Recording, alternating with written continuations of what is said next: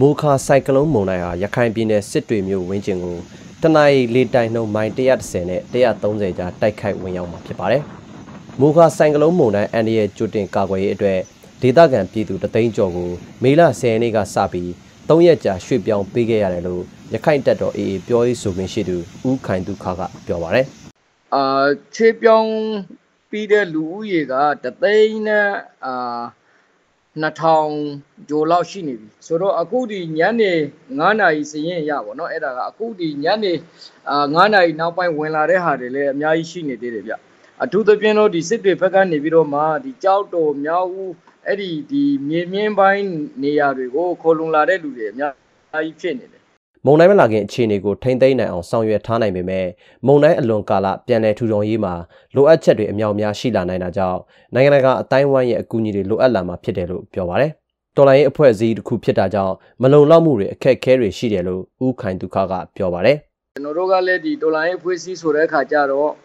မလုံလောက်မှုတွေ အာအများကြီးနဲ့နေပြီးတော့ကျွန်တော်တို့မှရှိသမျှအရင်းမြစ်တွေကိုအသုံးချပြီးတော့မှဒါကျွန်တော်တို့အကောင်းဆုံးဟိုဆောင်ရွက်ပေးနေတာဖြစ်တယ်ဗျအခုလောက်ရတဲ့အနေအထားမှာကျွန်တော်တို့ကဒီအကန့်အသတ်တွေအများကြီးရှိတာပေါ့နော်အထူးသဖြင့်ဒါငွေကြေးမလုံလောက်မှုတွေနော်ဒီရုပ်ဝတ္ထုပစ္စည်းပိုင်းဆိုင်ရာမလုံလောက်မှုတွေဒါအများကြီးပေါ့အခုဆိုလို့ရှိရင်ဥမာကျွန်တော်တို့ကဒီဒေသခံပြည်သူတွေကိုဟိုစက်လေတွေနဲ့နေပြီးတော့ကျွန်တော်တို့ပြောင်းနေရတာပေါ့နော်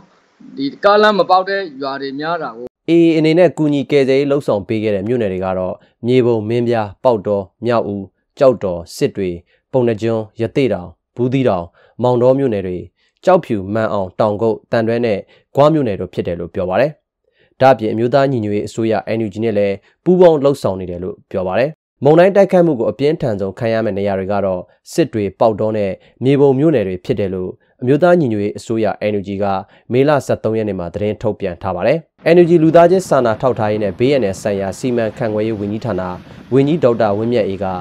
NUG အနေနဲ့မုံတိုင်းတင့်ပြည်သူတွေကိုကူညီနိုင်အောင်ဗန်နာငွေရထားကြောင်းမြေပြင်ကတက်ဆိုင်ရာအဖွဲ့အစည်းအသီးသီးနဲ့ချိတ်ဆက်ဆောင်ရွက်နေတယ်လို့ပြောပါတယ်။ဒီလူသားချင်းစာနာကူညီရေးနဲ့ဘေးရန်နဲ့တုံ့ပြန်ရေးကော်မရှင်မှာရှိတဲ့အရေးပေါ်အကောင့်ထဲပေါ်ဆောင်ရွက်မှုပေါင်းစပ်ညီနိုင်ကော်မတီအနေနဲ့တက်ဝင်လှုပ်ရှားဖို့ကိုကျွန်တော်တို့ ညှိနှိုင်းဆွေးနွေးပြီးတော့ပို့ပြီးတော့အသက်ဝင်လှုပ်ရှားအောင်လို့ကျွန်တော်တို့တိုက်တွန်းလို့ဆိုပြီးတော့လက်တွေ့အကောင့်ထဲပေါ်မှုတွေကိုစတယ်စလုပ်နေကြပြီ။နောက်အားလုံးကလည်းဒီဒီလိုအပ်တဲ့ဗန္နာငွေကြေးနဲ့ပတ်သက်ပြီးတော့လည်းဒီအစိုးရအနေနဲ့ကျွန်တော် NUG အစိုးရအနေနဲ့ဗန္နာငွေတတ်မှတ်ရထားတာတွေလည်းပြုလုပ်တယ်ပြုလုပ်ပြီးတော့လိုအပ်တဲ့ထောက်ပံ့ပံ့ပိုးမှုတွေအချိန်မီရရှိအောင်လည်းဒီနေ့တနေ့ကုန်ဆောင်ရွက်တယ်အဲ့ဒီလိုပဲသက်ဆိုင်ရာဒေသမှာရှိတဲ့သက်ဆိုင်ရာအဖွဲ့အစည်းသီးသီးနဲ့ချိတ်ဆက်တွေ့ဆုံတာတွေကျွန်တော်တို့လုပ်တယ် နောက်ပြီးတော့ထပ်ပြီးတော့သတိပေးတာတွေလုပ်ပါတယ်လို့ဒါကျွန်တော်တို့ဒီနေ့ဆောင်ရွက်ထားတဲ့ကိစ္စဖြစ်ပါတယ်မိုခါမုန်တိုင်းကြောင့်မေလ14ရက်နေ့မှာရခိုင်ပြည်နယ်ကိုဝင်ရောက်ပြီးတဲ့နောက်ချင်းပြည်နယ်၊စကိုင်းတိုင်းအောက်ပိုင်းကချင်ပြည်နယ်နဲ့ရှမ်းပြည်နယ်မြောက်ပိုင်းကိုမုန်တိုင်းရွေ့လျားနိုင်တယ်လို့ NUG ကခန့်မှန်းထုတ်ပြန်ထားပါတယ်။မိုခါမုန်တိုင်းဟာဒီကနေ့နေ့လယ်ပိုင်းမှာစစ်တွေမြို့ဝင်းကျင်ကိုဗဟိုပြုပြီးစတင်ဝင်ရောက်မှာဖြစ်တယ်လို့မိုးလေဝသလေ့လာသူပူးဝင်းနိုင်ကခန့်မှန်းပြောဆိုလိုက်ပါတယ်။နေ့လယ်တနာရီနှစ်နာရီလောက်ကစပြီးတော့သူ့ရဲ့အတွင်းဆက်ဝင်ပေါ့နော်အဲ့ဒီဟာ စစ်တွေမြို့စပြီးတော့ဝင်မယ်။အဲညလောက်ဆိုလို့ရှိရင်တော့ဗဟိုပါဝင်ပြီးသွားပြီးဖြစ်မယ်။အဲအဲ့ဒီဝင်တဲ့အချိန်ကြလို့ရှိရင်တော့လေးတိုင်းနှုံးကတနအီကိုတရားနဲ့12မိုင်နှုန်းအထိကျသွားပြီးတော့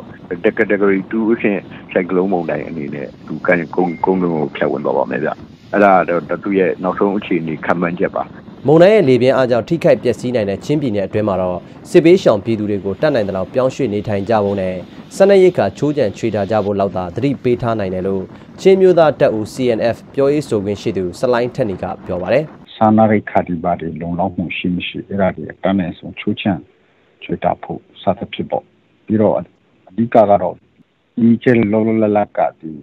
စစ်ကောင်စီကလည်းဘုံကျဲတိုက်ခိုက်ခဲ့လို့ အင်းလေးရတယ်မရှိတဲ့တောထဲမှာပုံဆောင်နေရတဲ့ရေလုံချုံရေးပေါ့စသဖြင့်တနိုင်ဆုံးအတနိုင်ဆုံးဖြစ်စီပေးနိုင်ကြဖို့စသဖြင့်ဒါပေမဲ့အဓိကကတော့ကျွန်တော်တို့မှာခက်ခဲကတော့အဲ့ဒီမုန်တိုင်းကြောင့်ဖြစ်လာမဲ့ကျမ်းမာရေးကိစ္စတွေပါဒီအတွက်တော့ကျွန်တော်တို့တော်တော်လေး